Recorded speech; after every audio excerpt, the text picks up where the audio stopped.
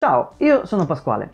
Oggi volevo trattare un argomento abbastanza delicato, molto delicato anzi, e portare alla tua attenzione un recente studio fatto su alcune persone che si ritrovano ad essere dipendenti dall'alcol, dagli alcolici. Lo studio pensa di aver trovato una metodologia che lega il consumo di una sostanza che è chiamata chetamina alla riduzione dei cosiddetti crampi da alcol, cioè a quella voglia irrefrenabile di dover bere alcolici per ogni per forza. Per cui cominciamo con questo argomento, anzi prima di cominciare ti volevo ricordare che puoi lasciare un pollice in su eh, se questo video ti piace e puoi iscriverti a questo canale e cliccare la campanella delle notifiche per non perderti nessun video successivo se ovviamente stai seguendo questo contenuto su YouTube. Bene, cos'è la chetamina? Si tratta di una molecola ampiamente utilizzata come anestetico, usato con prevalenza in ambito veterinario, ma anche pediatrico e in tutte le tipologie di farmacologia che tendono alla riduzione del dolore è sotto sperimentazione tra l'altro anche il suo possibile utilizzo nei disturbi depressivi e come anche un ansiolitico, ma è anche e soprattutto come nello studio che porto alla tua attenzione oggi, eh, sotto studio appunto nelle terapie delle dipendenze. Ricordo che l'alcol etilico è una sostanza fortemente cancerogena e che pertanto qualsiasi siano le quantità che tu vai a utilizzare, anche a scopo sociale, possono portare e portano dei danni e un sovraccarico al nostro sistema empatico, che è una cosa tangibile e provata scientificamente. L'abuso di alcolici è stimato essere colpevole di oltre il 4% delle morti totali mondiali e il 5% come causa di patologie croniche ad esso connesso. Per cui puoi benissimo capire come un abuso di alcolici possa essere deleterio e fortemente dannoso per il tuo organismo. Per cui quello che i ricercatori stanno eh, facendo è quello di fare in modo di poter intervenire sulle persone che hanno questa dipendenza cercando di sterpare eh, la problematica alla radice, appunto prevenendone gli impulsi e prevenendo l'impulso di sentire una necessità del consumo di alcolici.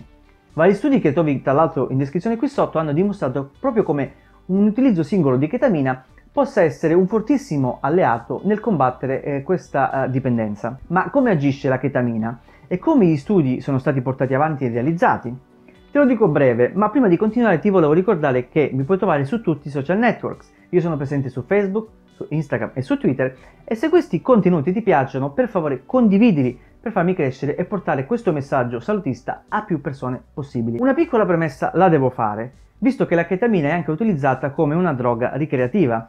Il suo utilizzo viene, avviene ovviamente solo attraverso prescrizione medica e con dei farmaci, dei farmaci appositi che la contengono come principio attivo. Non si va al supermercato, al banco della salomeria e si chiede 100 grammi di ketamina che poi sai benissimo come va a finire col tuo salumiere di fiducia che ti mette 300 grammi e ti dice che faccio, lascio? Vabbè, scherzi a parte, non è che si deve prendere a casa prima di uscire tutte le volte così andiamo a bere poco, ma si agisce con la ketamina solo in quei soggetti che abbiano appunto una storia di forte dipendenza dagli alcolici. Anzi, Perlomeno è quello che si vorrebbe fare se gli studi in corso dessero conferme sempre maggiori su questa terapia. L'ultimo studio che è stato portato a termine ha preso in esame 55 uomini e 35 donne che avessero appunto un consumo di almeno 30 pinte di birra a settimana, che sono più o meno 15 litri a testa. Parlo di pinte perché questo studio è stato fatto nel Regno Unito. Una pinta la puoi semplicemente affiancare in termini quantitativi a una birra media in Italia. È qualcosina in meno, ma ci siamo capiti. Queste persone erano tutte senza dipendenza diagnosticata dagli alcolici e per cui non ricevevano nessun trattamento specifico.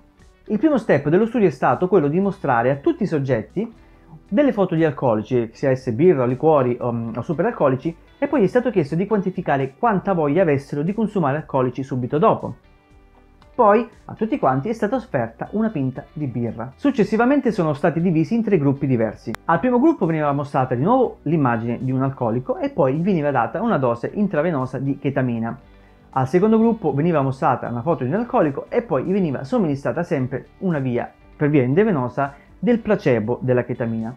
Al terzo gruppo invece non veniva mostrata nessuna immagine, ma gli veniva comunque somministrata una dose endovenosa di ketamina. Ora, come si sono andati a comportare i tre gruppi fra di loro.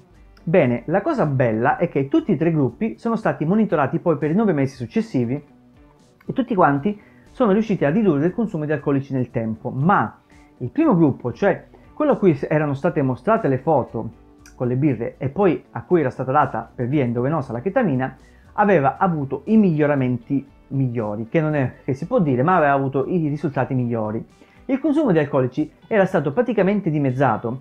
I giorni in cui poi si consumavano alcolici erano stati ulteriormente ridotti.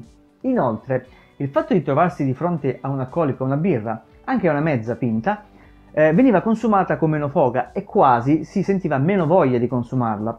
Per cui si può sicuramente considerare questa strada come una via iniziale da seguire per poter migliorare le terapie volte alle persone appunto che si trovano in una condizione di dipendenza da alcolici. Si tratta ovviamente di uno studio molto piccolo che dovrà essere comunque ripetuto in maniera molto più ampia e con un maggior numero di soggetti e magari sicuramente per un periodo di tempo molto più lungo, anche perché, non l'ho detto prima, ma lo dico adesso, la chetamina a sua volta provoca dipendenza e in dosi non controllate può causare anche dei danni fisici, soprattutto alla vescica ma sicuramente ci si trova di fronte a un piccolo spiraglio per aiutare persone in difficoltà che hanno questa problematica.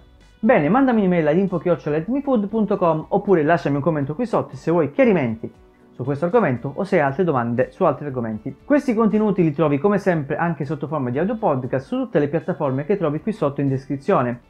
Ti eh, invito anche a visitare il mio sito internet che come sempre è www.helpmefood.com. Bene, anche per oggi ti lascio andare, per cui mi è rimasta solo la cosa più importante da dirti che come sempre è eat well, live well and smile e ci vediamo al prossimo video. Ciao!